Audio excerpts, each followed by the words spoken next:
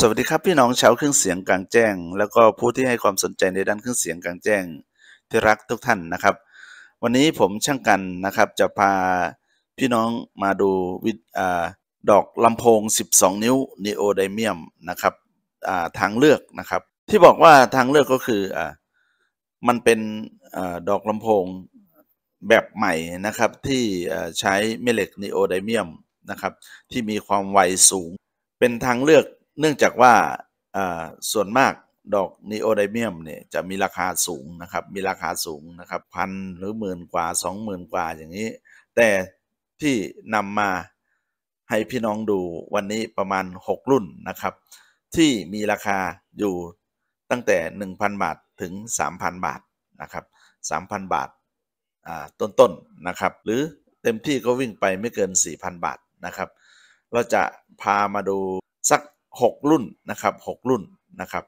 เพื่อเป็นทางเลือกในการตัดสินใจในการสั่งซื้อในการจัดหานะครับ ดอกลำโพง 12 นิ้วเนี่ยอย่าลืมว่าเราใช้มากนะครับ ในระบบเครื่องเสียงแต่ละชุด ตัวแรกนะครับผมจะพามาดูคาเนะนะครับคาเนะ 12N ตัวนี้ Neo 75 75 ก็คือ Voice 75 มิลหรือ 3 นิ้วนั่นเองนะครับ ตัวนี้กำลังขับอยู่ที่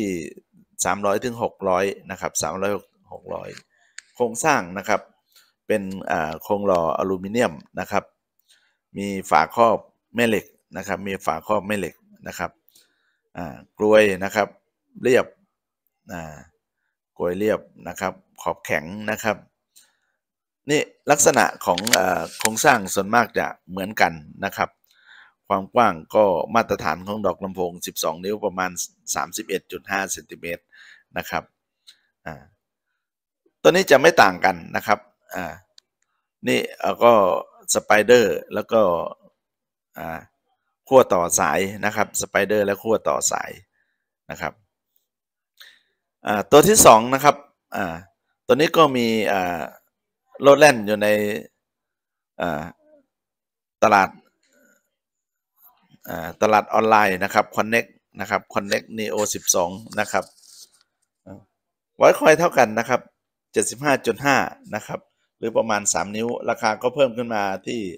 2,000 นะครับ 2,150 บาทนะครับ ตัวแรกนี่ราคาประมาณ 1,900 นะครับ รูปลักษณะหุ่นนะครับโครงสร้างเหมือนกันได้เลยนะครับเหมือนกันเหมือนกันนะครับ แตกต่างกันเล็กน้อย อย่างเช่น ขอบอาจจะใหญ่กว่า หรือว่าขอบแม่เหล็กอาจจะเล็กกว่านะครับ ก็ ส่วนมากก็จะผลิตออกมาลักษณะคล้ายๆกันเนื่องจากว่าปัจจุบันนี้นะครับโครงสร้างที่มันเหมือนกันนะครับ ส่วนมากจะมาจากแหล่งผลิตแหล่งผลิตโครงสร้างเดียวกันนะครับอย่างคัสซีต่างๆเนี่ยรถยนต์เหมือนกันนะครับ ส่วนมากก็จะโรงงานนี้ผลิตโครงสร้างโครงหล่ออย่างนี้ นะครับโรงงานนี้ผลิตสไปเดอร์โรงงานนี้ผลิตกลวยกระดาษ แต่รายละเอียดของแต่บริษัทเนี่ยก็จะแตกต่างกันออกไปนะครับ ตัวที่ 3 นะครับอ่าตัวนี้ก็นัทพงศ์ NPE นะครับ ML 1279นะครับ ตัวนี้อ่ากำลังขับเขาก็เพิ่มขึ้นนะครับกำลังขับเพิ่มขึ้นเป็น 400 วัตต์นะครับ 75 มิลเหมือนกันนะครับไวคอย 75 มิลนะครับโครงสร้างเองก็ไม่ต่างกันนะครับไม่ต่างกันนะครับ แต่อาจจะมีความละเอียดที่แตกต่างนะครับอ่านี่นะครับสวยงามนะครับสวยงามก็หาซื้อได้ทั่วไปนะครับอันนี้เราจะมอง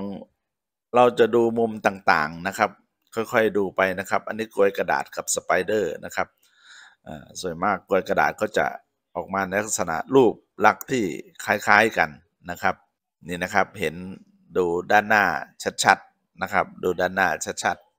ๆนี่ดูด้านหลังนะครับ ด้านหลัง จะคล้ายกันมากนะครับ คล้ายคลึงกันมากนะครับคล้ายคลึงกันมาก อยู่ที่บริษัทไหนนำโครงสร้างแบบไหนมาใช้นะครับ อีกตัวหนึ่งนะครับ SA Standard Audio นะครับ ตัวนี้ก็ทางภาคกลางนะครับอ่าเป็นโรงงานของไทยนะครับ ส่วนการโครงสร้างหรือการหล่อโครงสร้างเนี่ยอาจจะมาจากแหล่งเดียวกันนะครับ SA 1 2 7 5 N นะครับ รหัสเขานะครับราคาก็จะสูงขึ้นมาอีกนิดหนึ่งนะครับ 2,840 นะครับ กำลังขับก็เพิ่มขึ้นมาที่ 550 วัตต์นะครับเห็นไหมครับ ไวคอยใหญ่กว่านะครับ ตัวนี้ไวคอยใหญ่กว่าเพื่อนนะครับ 76.3 มิลนะครับ ไวคอยในส่วนมากจะมีความละเอียดนะครับ เราจะดูละเอียดเป็นมิลนะครับ แต่ถ้าถ้าเกิดเราพูดหยาบๆก็คือ 3 นิ้วนะครับ3นิ้ว SA นะครับเป็นแบรนด์ที่ค่อนข้างจะได้รับความนิยมในระบบเครื่องเสียงหนังกลางแปลงนะครับ มาดูอีกตัวหนึ่งนะครับคาเนะนะครับคาเนะตัวนี้นะครับโอ้โหพัฒนารูปร่างขึ้นสวยงามเลยทีเดียวนะครับ สวยงามนะครับ ก็คาเนะก็มีหลายรุ่นนะครับ มีสองสามรุ่นนะครับ รุ่นนี้ก็เป็นอีกรุ่นหนึ่งที่มีความสวยงามนะครับ คือปกติแต่ก่อนผมก็นิยมคาเนะเหมือนกันนะครับ คือราคาเขาถูกนะครับ เสียงมีพลังนะครับ เสียงมีพลัง นี่ก็เป็นอีกตัวหนึ่งเป็นเป็นอดอกลำโพงทางเลือกที่ราคาไม่สูงมากนีโอไดเมียมเนี่ยจริง ๆ แล้วถ้าเกิดมีคุณภาพจริง ๆ นะครับเสียราคาเขาหลักหมื่นนะครับ อันนี้ก็หลักขึ้นมาเป็นสามพันนี่ก็ถือว่าไปกันได้นะครับ เป็นราคาที่ไปกันได้ ในหมู่ชาวเครื่องเสียงรักยาของเราสามพันนี่ถ้า เราซื้ออ สิบสองดอกก็สิบสองสามเป็นสามสิบหกสามหมื่นหกก็ไม่ถือว่าสูงมากนะครับ อีกตัวหนึ่งนะครับเครื่องเสียงอดอกลำโพงคุณภาพอีกตัวหนึ่งก็คือนี่ Nexon นะครับ Nexon ตัวนี้น่าจะอยู่ในตู้ v o r t e x นะครับ ตู้ v o r t e x นะครับ ก็คือทางค่าย v o r t e x เป็นผู้ผลิตหรือนำเข้านะครับ มาจำหน่ายนะครับ รูปร่าง ก็ไม่แตกต่างนะครับ ส่วนมากจะคล้ายกันมาก คล้ายกันมากนะครับ หลาย ๆ ยี่ห้อที่มีราคาราคาประมาณนี้ ตั้งแต่พันไปลายถึงสามพันกว่าบาทนะครับ อันนี้ก็ก็เป็นทางเลือกทางเลือกใหม่นะครับของอ่าของเราที่อยากจะลองนะครับ อยากจะลองดอกลำโพงที่มีคุณภาพอ่า สูงนะครับ เนื่องจากว่าแม่เหล็กนีโอไนเบียมเนี่ยจะมีความไวนะครับ มีคุณภาพสูงกว่าแม่เหล็กเฟอร์ไลท์ประมาณสิบเท่านะครับ เพียงแต่ว่าทำไมราคาเขาสูงขึ้น เพราะว่าแม่เหล็กชนิดนี้มันมีราคาแพงกว่านะครับ ราคาแพงกว่าต้นทุนการผลิตเขาสูงกว่านะครับ ราคาแพงกว่าอย่างเดียวไม่พอนะครับ คุณภาพเสียงก็แตกต่างกันมากนะครับส่วนมากที่ผมนำมาเนี่ยคือแม่เหล็ก 75 เนี่ย หรือว่าแม่เหล็ก 3 นิ้วเนี่ย มันมีความทนทานนะครับ คือมันใหญ่ที่ผมใช้มาคือ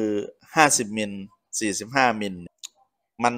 ถ้าเจอความร้อนหนักๆงานหนักๆ มันจะขาดหรือว่า กำลังขับสูงๆเนี่ยมันขาดง่ายนะครับ ลองมาใช้ 75เนี่ยเสียงมันออกจากมิดโลเสียงมันคือถ้าใครได้สัมผัสกับอดอกลำโพงเสียงกลางแหลมเสียงกลางที่มีมิดโลเข้ามาอยู่ด้วยเนี่ยจะรู้สึกว่าเออเสียงมันมีเนื้อนะครับ เสียงมันมีเนื้อมันหนามันหนาขึ้นนะครับ และจะติดใจ พามาดูเพื่อเป็นแนวทางนะครับเป็นทางเลือก นะครับ ฝากไว้เท่านี้ก่อนนะครับอ่าพบกันคลิปหน้านะครับ ฝากกดไลค์ กดแชร์ กด Subscribe ให้ด้วยนะครับ สวัสดีครับผม